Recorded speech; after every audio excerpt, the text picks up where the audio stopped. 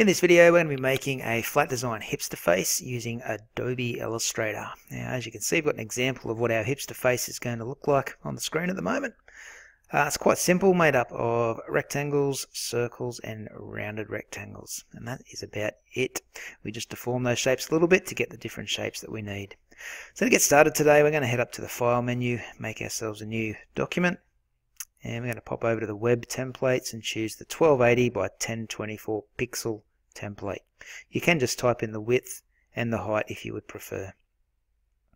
Click create when you're ready to go and you'll get the white canvas on your screen ready for you to start creating your hipster face. The thing that I'm going to start with first of all today on the face is the beard. Okay, so to draw the beard, what I need you to do is pop over to your rectangle tool, hold your mouse down and select the rounded rectangle tool. From here I want you to go over to your properties panel.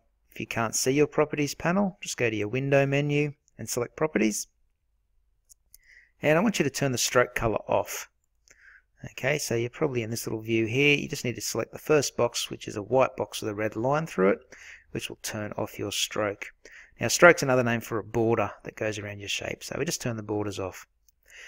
We do want a fill color though.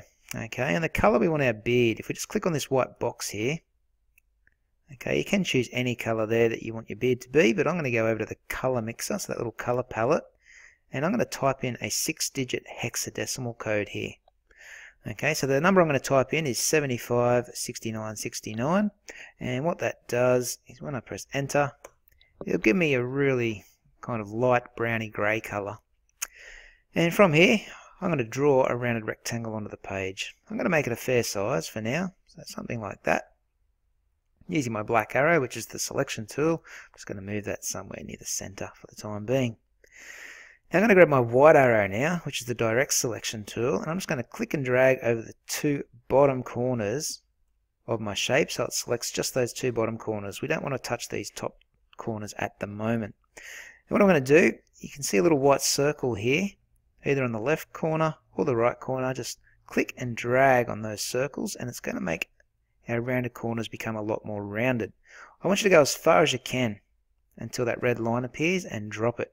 And that's going to round out the bottom of our shape. Okay, so that's looking a bit more like a little hipster face. I guess now we've got the beard down here and we're going to have the face up the top here. Alrighty, so the next thing I'm going to do is just sharpen this beard up a bit. I'll zoom in a bit here so you can see what I'm doing. Down the bottom with my white arrow tool, so the direct selection tool, still selected, I'm going to click on this bottom point and you'll see a little handle that appears over here. I'm just going to pick up that handle and drag it inwards towards the center point. Okay, and you can see when I let go, it makes a kind of sharpish curve there. Alright, so we need to get this other side now. So I'm just going to click on the line over here. You don't have to actually click on that center point. You can click on the path, which is the line coming around this left side here. And you'll see another little handle appear. And I just want you to pick that handle up and drag it over towards the center as well. So you get a similar kind of shape on the left side as you did on the right. Alrighty, so the next thing we need to do, okay, still with this white arrow selected, is select the path again that runs along here. And you'll see another handle that appears on the right hand side over here. Grab that handle, hold shift, and drag it down a bit. Not too far, Okay, just down a bit more. So it's looking something like that. Click on the path on the left side and do exactly the same. This handle will appear on the left. Hold shift and drag it down a bit. Okay, and hopefully you've got a not so rounded beard. If it's still a little bit rounded, feel free to click on these points again and just sharpen that point up a little bit more. You might want to just bring the handle back up a bit. Okay, it's just a bit of trial and error until you are happy with how your beard's looking. Should be pretty much the same on either side. So I'm going to go with something like that. Okay, so it rounds off here and tapers into a little point in the center.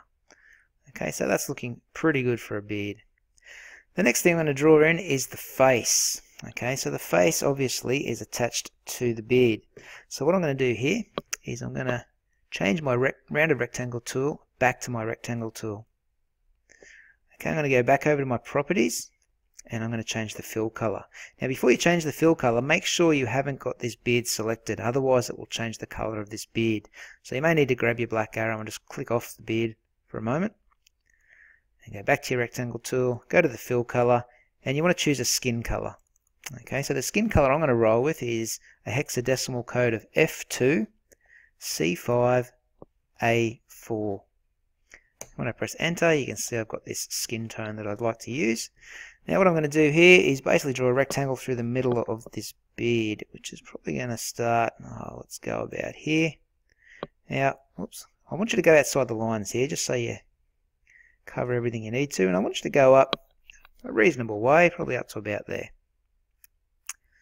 And now we're just going to cut off the sections of the face we don't need. So I'm going to highlight everything using my selection tool. I'm going to grab my shape builder tool over here from my toolbox and I'm going to hold the alt key and simply click and drag over the parts of the shape I don't need anymore. Okay, so that was the top section of the beard and just the sides of the face there that were going or stretching out a little bit too far. So this here is going to be our face. Alright, so what we're going to put on our face is some eyes, eyebrows, uh, a nose, and even a little mouth. So let's start with the simple ones, which is going to be the eyes. Uh, we're going to go back to our rectangle tool, hold our mouse down on it, and get our ellipse tool. Okay, oops, I should have just clicked off everything first. Okay, so make sure you've deselected everything, otherwise you'll change the colors of the wrong shape. So with my ellipse tool selected, go over to your fill color here, click on it, and we're going to type in another hexadecimal code. For the eyes, I'm going to make them a little bit red. So I'm going to write in 75, 43, 46. Press enter. It's like a darkish red. Now I'm going to zoom in nice and close here. And I'm simply going to hold shift to draw a perfect circle and draw a little eye about yay big. Using my selection tool now, I'm going to hold Alt while this eye is selected and you'll see that a black and white arrow appear. I'm going to click and drag out a second eye now. And if you hold shift while you're dragging, it keeps it perfectly in line so you can move your eyeball over to the other side of the face. Just drop it into position. You may need to nudge them around a little bit with your arrow keys to get them into a reasonable looking spot so they're a similar distance from the edge of the face. Something like that. Doesn't look too bad. Yeah, that's pretty good. Uh, the next thing we're going to draw is some eyebrows that go above those eyes. Okay, so I want you to simply select this bearded color again. Alright, so to do that, we're just going to grab our eyedropper tool and click on the beard.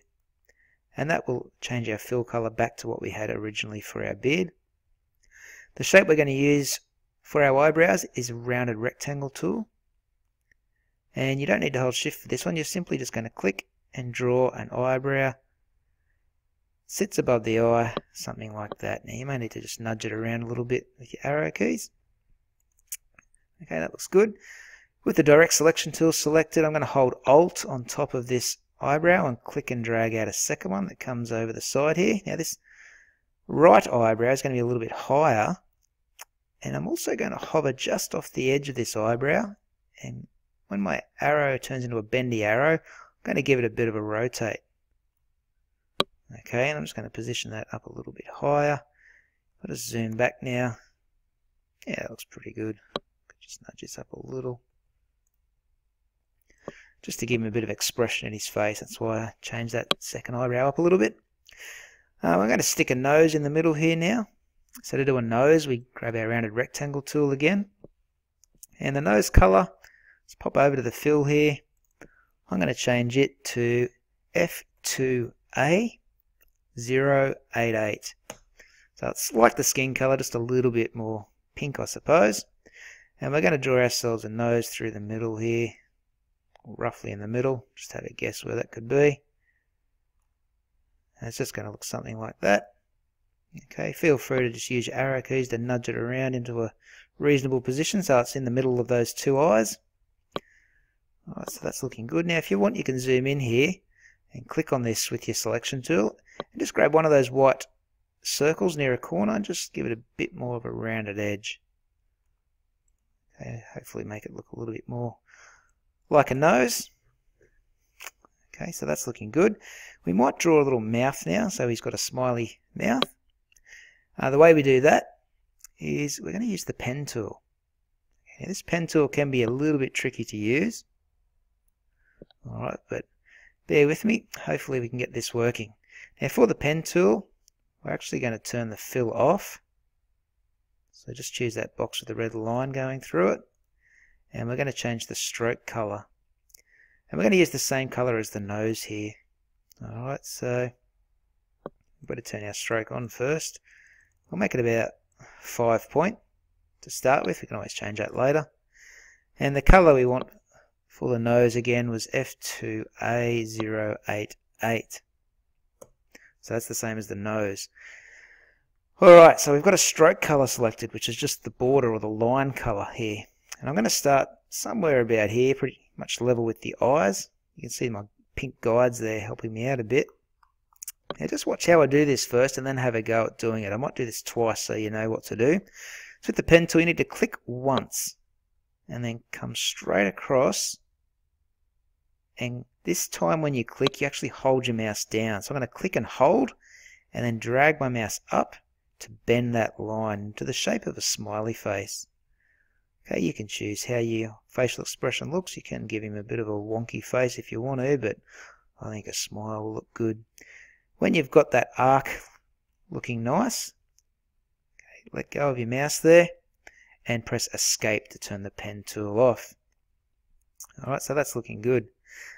Next thing we might do, actually I said I'd do that twice, so I'll just do that once more for you, just so you can see how I did that.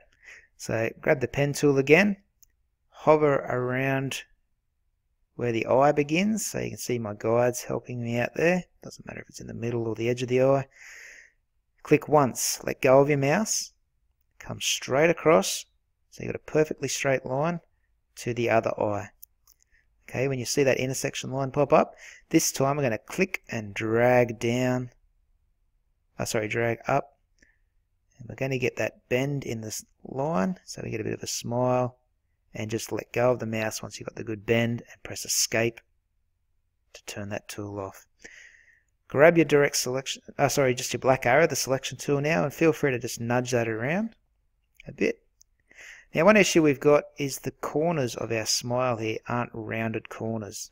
I want them to be rounded corners rather than the sharp edges like it has now. So make sure you select that shape.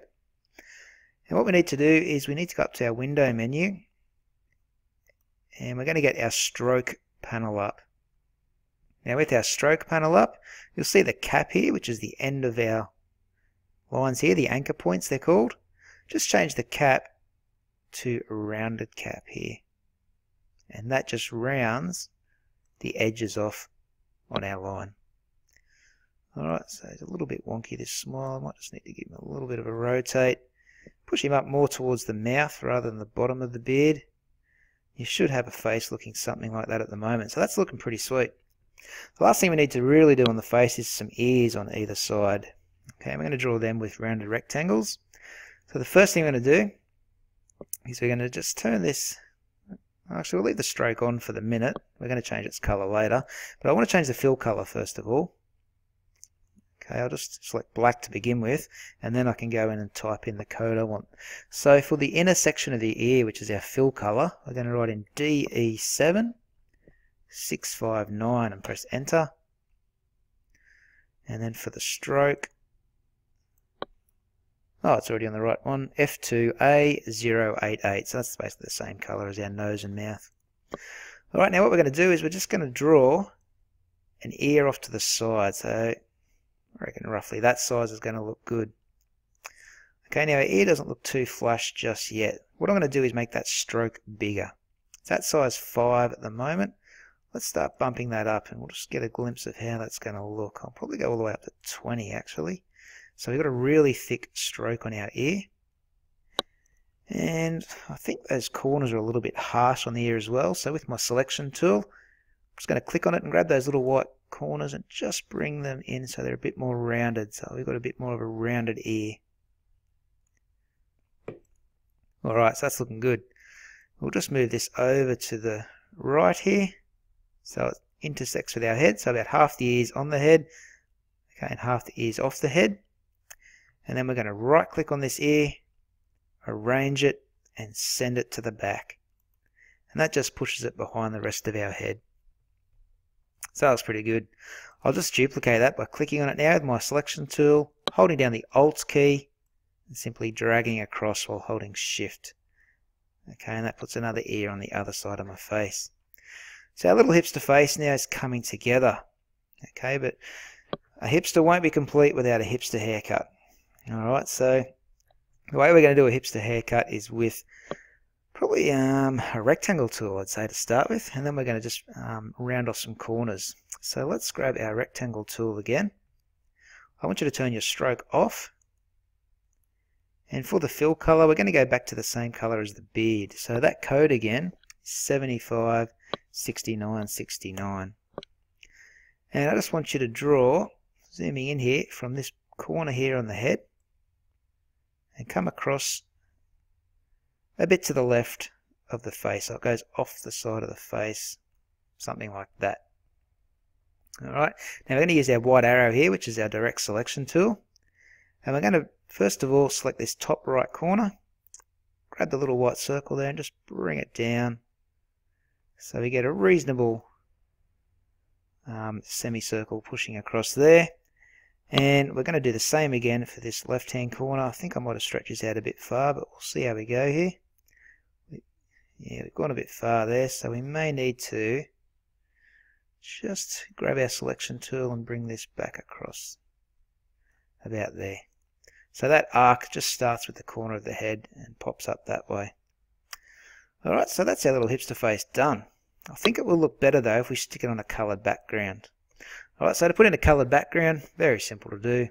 Just grab your rectangle tool, come over to your fill colour here, and choose a colour you want for the background. I'm just going to choose a lightish kind of blue. Um, that'll do me there.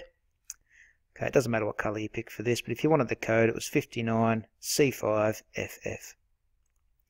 And I'm going to start right in the top corner, top left hand corner, and drag all the way down to the bottom right hand corner and drop that blue color on my page. Using my selection tool now, I'll right click on that, go to arrange and send it to the back. Alright, so there is my hipster face, all done and dusted. When you're finished, if you want to come back and edit it later, be sure to save it as an AI file. Okay, uh, if you're printing it, maybe a PDF file would be a good one. And if you want to save it for the web, just go to export and export for screens and I'd be choosing a PNG format. That way you get a transparent background behind it if need be. Okay another option is a JPEG at 100% quality. Alright so that is how we draw our hipster face